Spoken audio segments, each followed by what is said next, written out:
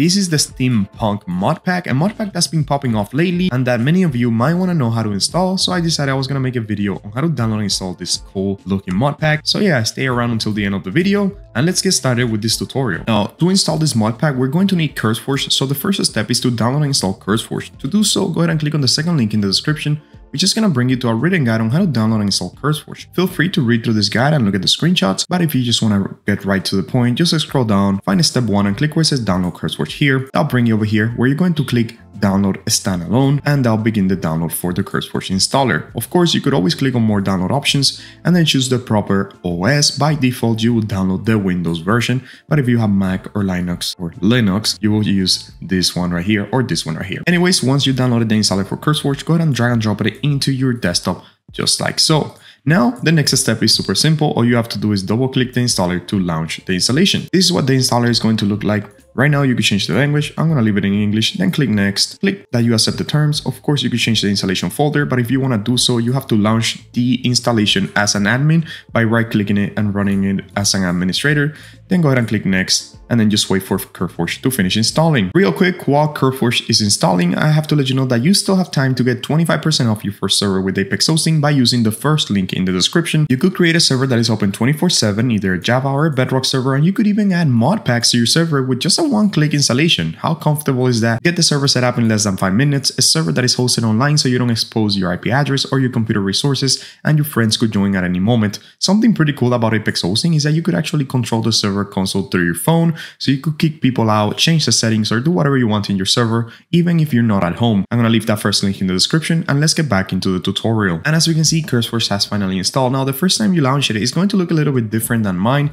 You might have to click skip intro, and then you'll be over here, where you're going to select Minecraft, and then once you select Minecraft, you're going to be here in the browse area. That is the first time you launch it. It's going to look a little bit different. Anyways, just go ahead and head over to the browse area. Give it a second for the mod packs to load. And if it's taking too long to load, you could just click where it says search for Minecraft projects and type steampunk just like so and then click enter. And as you can see the steampunk will come up. You have to make sure it's this one right here. I don't know how to pronounce the creator's name but obviously all credits to him or her. And then go ahead and click where it says install right here on the right.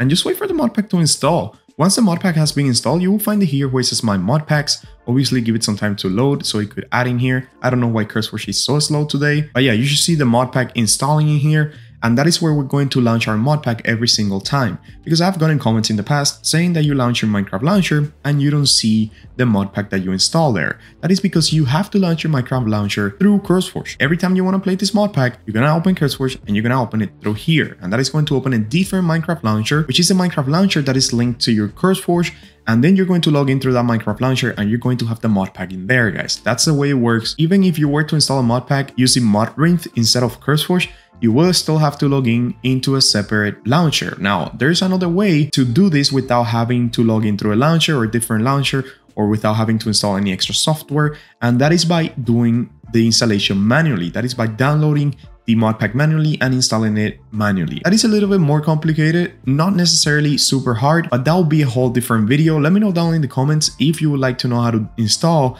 this mod pack by hand or manually and I might make a video on that because that is a different process. Doing it through CurseForge or any other mod pack launcher is just easier, it's faster, it's safer, and there's really not a lot of ways you can mess up while doing it through here. And then after a while, you will see that the mod pack has installed and all you have to do is now click on play like I was saying earlier, the first time you launch this, it's going to open a different Minecraft launcher, as you can see says in here, updating Minecraft launcher and stuff, and then it will open this Minecraft launcher, which you will probably have to log in since it is the first time you are opening it. However, once you log in, one time, that's it, you won't have to log in again, even if you're using a different mod pack through CurseForge. Once in here, you will see the mod pack automatically selected, and that is actually the only option that you have besides the regular Minecraft and stuff.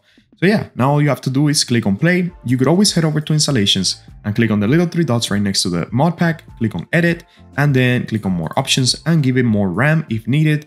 This is the megabyte amount, so 4000 equals 4 gigabytes of RAM. I recommend that you don't mess with this unless you know what you're doing and you know how much RAM you have on your computer and stuff. For me, 4 gigabytes of RAM is plenty, so I'm just gonna leave it as default. And then I'm just gonna click on play to show you guys that the mod pack is actually working. Once you click on play, you might have to click that you understand the risk, and then click play again, and wait for the mod pack to load. Now, as you can see, the modpack just opened and it's actually telling me right here in the loading screen that I should give it more megabytes so or more gigabytes of RAM. It's actually telling me that the minimum for this modpack should be 5 gigabytes and I only gave it 4. So yeah, you already know how to change the gigabyte amount. I already told you how to do it. So if that's something that you want to do, go ahead and do it. I'm going to leave it on 4 gigabytes. I'm pretty sure I'm not going to have any issues right now. I'm just recording this video. I'm not going to be playing the modpack right now. So it's just for the video. I'm gonna go ahead and launch a single player world. Of course, you could always set up a multiplayer server. If you want to learn how to set up a multiplayer server, let me know down in the comments as well. maybe if a lot of people need to set up a multiplayer server, I'll probably do a video on this as well. Let's just go ahead and create the world. And as you can see, the mod pack just loaded. And yeah, I, I guess that you could use a little bit more RAM than 4 gigabytes.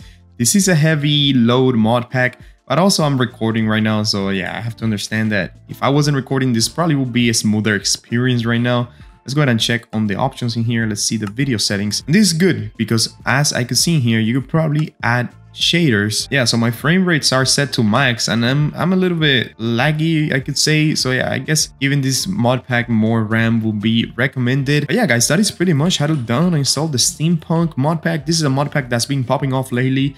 And I decided I was going to make a video on how to install it for those of you that might Wanna play this mod pack? I hope you enjoyed this video. If you did, don't forget to subscribe and let me know down in the comments below what other mod pack or what other video you would like to see, what other tutorial, and we'll get to work on it.